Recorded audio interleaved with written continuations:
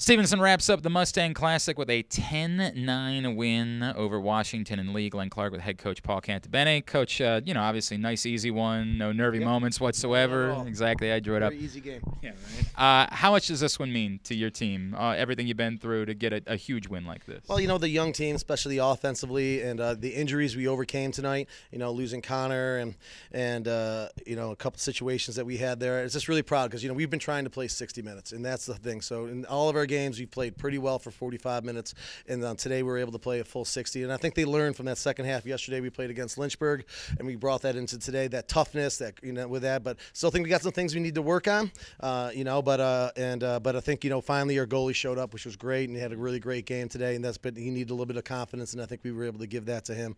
So we're just really excited that we were able to get a big W. You know, we know our guys can do it, but sometimes when you got teams, you got to kind of teach them how to win and what to do. And now we know our guys have it in it. And but we, we got to finish the game a little bit better though. You know, up 10-7, we have a seven. We have several great shots of picking up a ground ball, and we just miss it and give them some opportunities um, with that. So, but we got to get healthy, and we have another, you know, just another average team next week. Yeah, nice, easy one next Saturday on the road. All right, um, a couple of guys you mentioned Scorius, but I want to bring up a couple others. You Yep. said you know Connor got hurt, you had to go to Bradley Bennett, and I know that the numbers maybe didn't end up being great, but the battle that he gave you and staying in there even after he lost a couple and doing some work, what'd you see from him? Yeah, you know, Bradley's just, you know, he's been grinding. You know, he's a, he's a really good player, been getting better and doing certain things. He needs to take care of the ball a bit better, but he's a freshman in a tough situation. He hasn't taken a lot of face-offs, so we're just really, really happy. And Connor showed just such grit to come back in with his hamstring to try to give us a little bit there.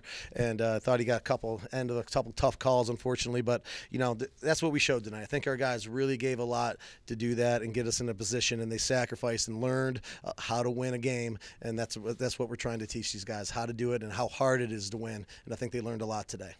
Steven Rink, something untapped there in the fourth quarter. Well, you know, Steven's just been, you know, uh, plugging along, and we know he's got, trem- he shows it in practice at time, little uh, blips here and there run by, but and he's just been kind of slow to mature a little bit in our system. But you know, today he finally was able to get him to going downhill, and he has a big shot, and, and hopefully that gives him a little confidence to go to help that second line a little bit. And I think that will really help, especially since we didn't have Dobbins today.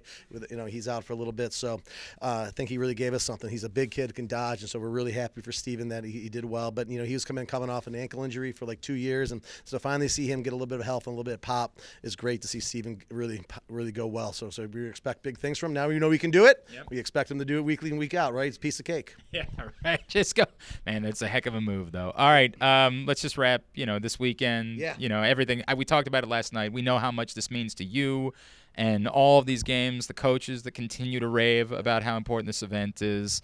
Um, just the pride that you have in being the host for the Mustang Class. Well, we're just we're just glad that we have nine other great coaches that want to be a part of this and, and really sacrifice so much for them. Their resources they have to go, the travel, their families all have to come here. For them, their their leadership that they show to be here is just unbelievable, and that's what makes this weekend great. Because one of the best parts about Stevenson and I've been here is that Stevenson believes the impossible is possible.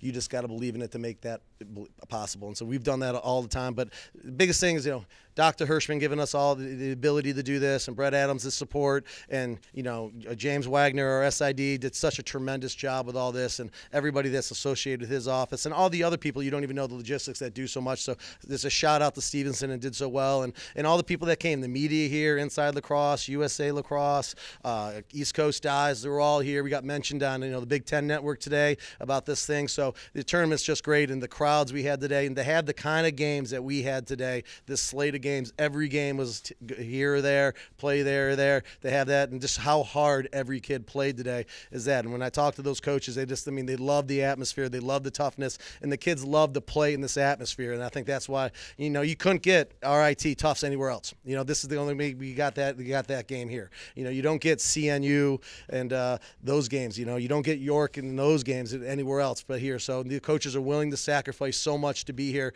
and that's why this tournament's great because they're willing to sacrifice to make this tournament great and broadcast their programs nationwide. Like, you know, we all get so much out of this uh, nationwide, and uh, I think it's the best thing. And uh, talking to Jake Coon, he's like, "Oh man, we love this. We're going to be back." And talking to Steve Koudelka, it's like, "We, you have us back, we'll be here." And Brandon Childs, like, "If you have us, we'll be here." I mean, those coaches just want to be here, and and I think the players, you know, you know, they love it to play. They see all, you know, you got one team warming up, you know, you got other teams watching, the games are going on, that tightness of it is just awesome. So uh, we're just really happy that it was a great event for Division Three lacrosse in particular. That's why we started this event to showcase how great Division Three lacrosse is, and I think this weekend just showed you the brilliance of Division Three lacrosse and what coaches are willing to do. You know, maybe those D1 coaches would uh, listen a little bit, you know, and you know, instead of worrying about their sleep regimens and uh, making sure the guys eat enough milk or food to do right, hey, get out there and play and showcase your programs and look what great things happen. Yeah, it's good for the sport. There's no question about that. Got a lot of attention. Coach, congratulations on a great win. Uh, best of luck at Salisbury next Saturday. Thanks a lot for covering, and thanks for everybody, the fans, the teams, everybody, the staff